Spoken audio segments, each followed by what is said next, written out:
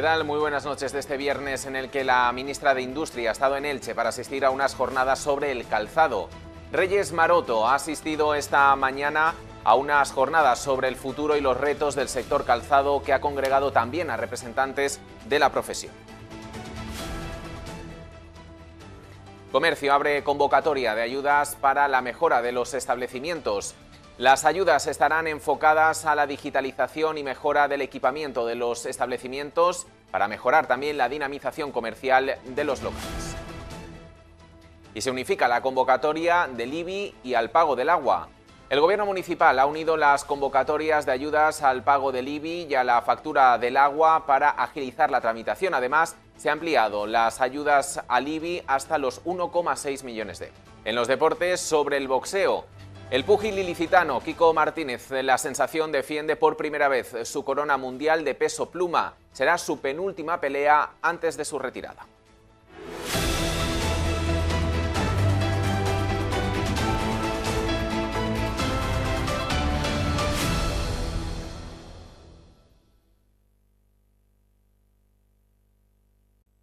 La ministra de Industria, Comercio y Turismo ha estado en Elche esta mañana en una jornada sobre el futuro y los retos del sector calzado. Antes ha estado en Radio Elche Cadena Ser, donde ha pedido confianza de la ciudadanía para resolver la actual crisis. Ha afirmado que este gobierno superó la crisis de la pandemia y está trabajando duro para esta. El martes eh, pondrán en marcha un plan de ayudas muy importante con las que esperan también que concluyan los paros activos. La ministra de Industria, Comercio y Turismo ha estado hoy en Elche para participar en una jornada organizada por la oficina de la eurodiputada Inmaculada Rodríguez Piñero y la Federación de Industrias del Calzado Español. Antes de su participación, ha mantenido una entrevista en el programa Hoy por Hoy de Radio Elche Cadena Ser, donde Reyes Maroto ha pedido a la ciudadanía confianza en el gobierno. Asegura que este gobierno supo liderar el país durante dos años de pandemia y ahora está trabajando muy duro y con rigor para establecer todos los mecanismos de resolución de la crisis derivada del conflicto bélico. La ministra asegura también que el martes se va a presentar un ambicioso plan de respuesta a los efectos de los elevados precios de la energía y de los carburantes. Reyes Maroto cree que la plataforma de transportistas que todavía mantiene la huelga va a alcanzar un acuerdo en breve y se está trabajando en Unión Europea un acuerdo sobre el precio de estas energías. Respecto al sector de la industria del calzado, Maroto ha explicado que se están abriendo nuevos mercados internacionales y ha destacado lugares como Canadá, Japón o Estados Unidos que puedan reforzar la empresa española exportadora. En esas jornadas, eh, la industria del calzado se ha reunido en el Parque Empresarial en una sesión estratégica para el conjunto del sector a nivel nacional con el objetivo también de ampliar mercado fuera de Europa. El sector del calzado a nivel nacional se ha reunido esta mañana en el Parque Empresarial de Elche con la finalidad de aumentar su capacidad de exportación a zonas extracomunitarias como Japón, Australia o Nueva Zelanda. La jornada también se ha dedicado a conocer más de cerca la realidad del sector y fortalecer sus relaciones con Europa. Para ello ha estado presente la eurodiputada Inmaculada Rodríguez Piñedo, quien ha aprovechado el acto para hacer balance sobre la situación compleja que, según ella, arrastra el sector a causa de las diferentes crisis. Aún así, la además presidenta de la Federación de Industrias del Calzado Español ha señalado el sector como un ejemplo de resiliencia y modernización a pesar de las dificultades del momento. El sector del calzado es un sector de éxito, sin duda, y es un ejemplo de resiliencia, de modernización, de superación, de innovación. Eh, en los peores momentos ha sido capaz de sortear la crisis y ahora estamos acabando de salir de la crisis de la COVID, cuando aún todavía no habíamos salido de ella. Como saben, estamos viviendo otra aún de más dramática, como es la, la invasión de Ucrania por Putin, ¿no? y todas las consecuencias que lleva consigo Marian Cano, presidenta de la Asociación Valenciana de Empresas del Calzado, también ha acudido al evento en el que ha destacado la importancia del acercamiento a Europa, un mercado que representa el 70% de las exportaciones anuales. En este sentido, Cano ha destacado un incremento del 12% del total de exportaciones españolas durante el último año. Más del 70% de nuestras exportaciones van dirigidas a mercados comunitarios, a nuestros vecinos de la Unión Europea. Trabajar en otras áreas económicas es fundamental. Eh, Japón eh, es un mercado muy importante, estaban, en los últimos años ha bajado entre los 10 primeros destinos de nuestras exportaciones eh, sabemos cómo, cuál ha sido la situación, pero sí que es cierto que en un primer momento cuando eh, se firmó el tratado crecimos en exportaciones de libre comercio, eh, conseguimos que se eliminaran las cuotas que existían, que para nosotros era importante, y bueno, y a lo largo de estos años vamos a ir viendo el efecto final del tratado, ¿no? porque la desescalada de los aranceles, bueno, pues se han puesto a 10 años y, entonces, bueno, todavía nos quedan unos años para llegar a ese nivel de, a ese nivel de libre comercio total que nos permita entrar. El alcalde de Elche, Carlos González, ha agradecido la asistencia a las dos organizaciones y ha puntualizado que los grandes retos cercanos del calzado pasan por la digitalización y la diversificación hacia nuevos mercados.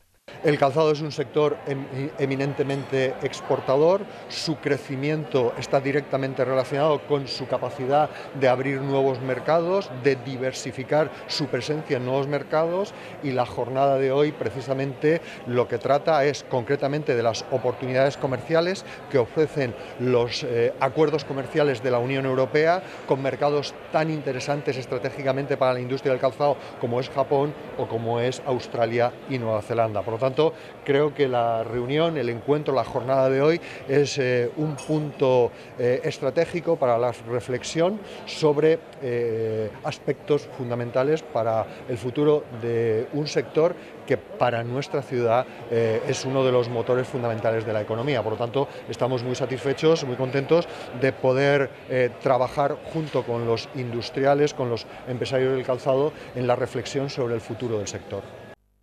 Y del calzado al comercio, la directora general del área ha anunciado una convocatoria de ayudas para la realización de obras de mejora en establecimientos comerciales. Estas ayudas estarán enfocadas a la digitalización, la mejora del equipamiento, la gestión y el servicio de los comerciantes y artesanos.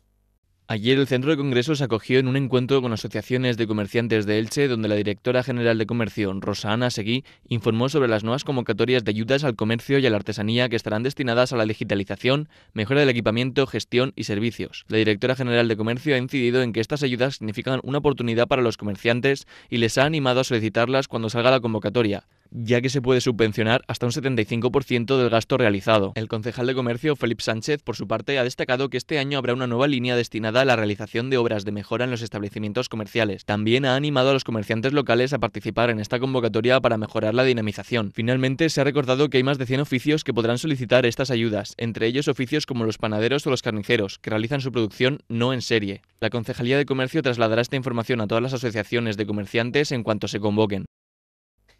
Y Sanidad ha propuesto un aumento de la oferta en las plazas de medicina, una medida que ha llevado a la Comisión Nacional de Decanos de Facultades de Medicina Españolas a solicitar explicaciones al Ministerio porque consideran que la propuesta genera desconcierto. El grupo de trabajo formado por representantes del Ministerio de Sanidad y del de Universidades, creado para abordar el análisis de oferta y demanda de médicos especialistas en España, anunció la necesidad del aumento de plazas destinadas al grado de medicina en España una decisión tomada sin contar con la opinión de los catedráticos, por lo que han solicitado una entrevista con el secretario general de universidades para abordar la situación. Según los datos que manejan los decanos de medicina españoles, el número total de médicos activos en España asciende a 192.484. Esto supone un ratio de 406,13 por cada 100.000 habitantes en 2021, por encima de países como Francia, Reino Unido o Italia. En cambio, los propios decanos afirman la falta de especialidades médicas déficit que desde Sanidad afirman que solo se puede revertir con una mayor oferta de plazas. El decano de Medicina de la Universidad Miguel Hernández, Antonio Compañ, ha señalado que el aumento de plazas no es una buena opción ni para los estudiantes, ni para la universidad, ni para la salud de la población. Y vamos con algunos de los asuntos de la Junta de Gobierno. Se abre una única convocatoria para solicitar las ayudas al pago del IBI y para el recibo del agua. Se incrementarán las ayudas para el impuesto de bienes inmuebles hasta los 1,6 millones de euros y se amplía también el límite del valor catastral.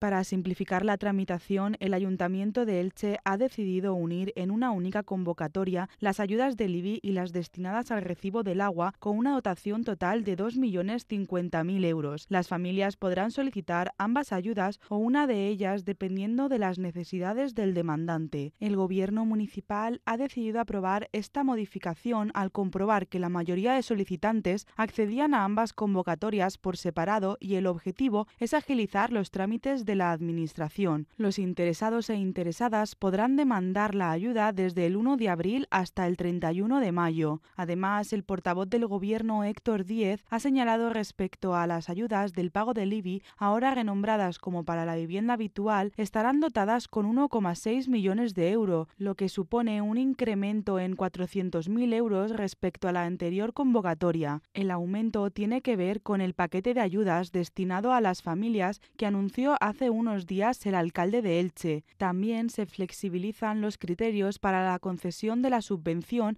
en lo que respecta al límite del valor catastral que aumenta de 10.000 euros hasta los 70.000 euros. De esta forma se busca que esta condición no sea un impedimento para obtener las ayudas. En lo que respecta a las ayudas al pago del recibo del agua, se mantendrá la cantidad de 450.000 euros y los criterios para solicitarlas siguen como en las convocatorias de años anteriores, con el objetivo de alcanzar a cerca de más de 6.000 demandantes. Unas ayudas que a partir de ahora se fusionan en una única convocatoria con un montante total de 2.050.000 euros y que permitirán, en este caso, hacer frente a los gastos relacionados con la vivienda habitual a través del recibo del IBI y también apoyar el pago del recibo del agua a aquellas eh, familias que estén en situación de dificultad.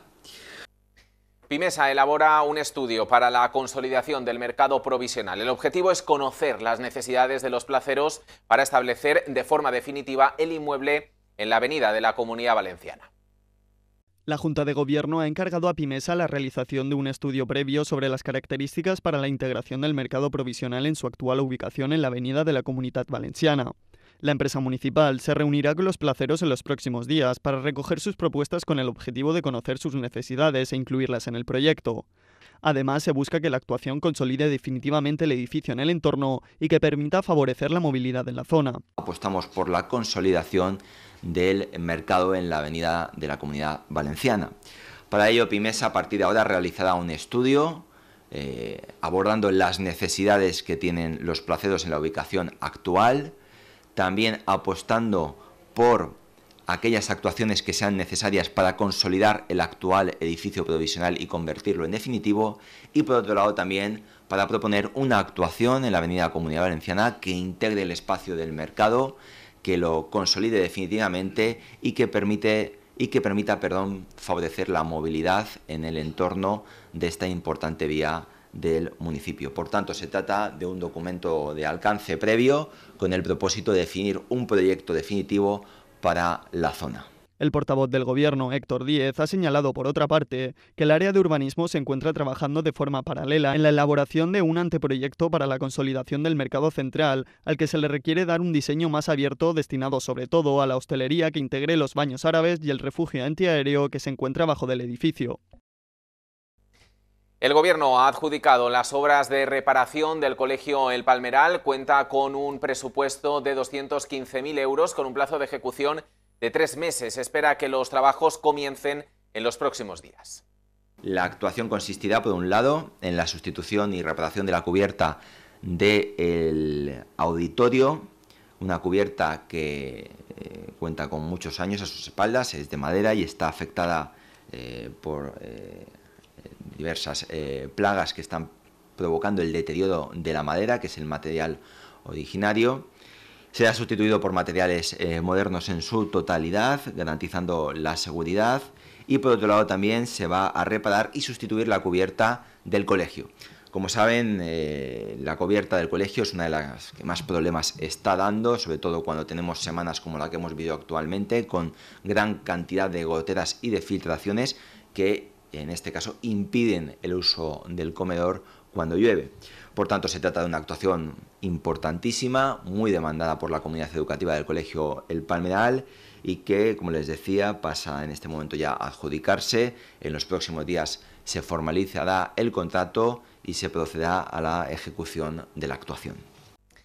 En crónica política, el portavoz del Partido Popular, Pablo Ruz, exige a Chimo Puig, el presidente de la Generalitat, que ponga en marcha el tram a Elche con parte de la deuda histórica por los terrenos de la Universidad Miguel Hernández. El objetivo es conectar Alicante con el parque empresarial. Pablo Ruz, presidente del Partido Popular, ha declarado que el tranvía es un medio de transporte sostenible que vertebra la provincia y ha pedido a Chimo Puig, aprovechando su visita hoy a Elche junto con la ministra de Industria, que ponga en marcha el tram en la ciudad.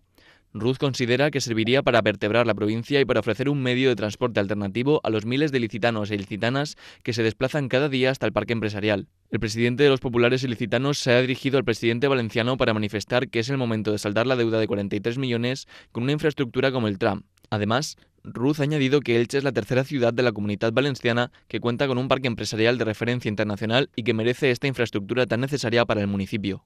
Hoy es el momento de decirle a Puig que la inversión necesaria con esos 43 millones de euros para la ciudad de Elche es la siguiente, el tram.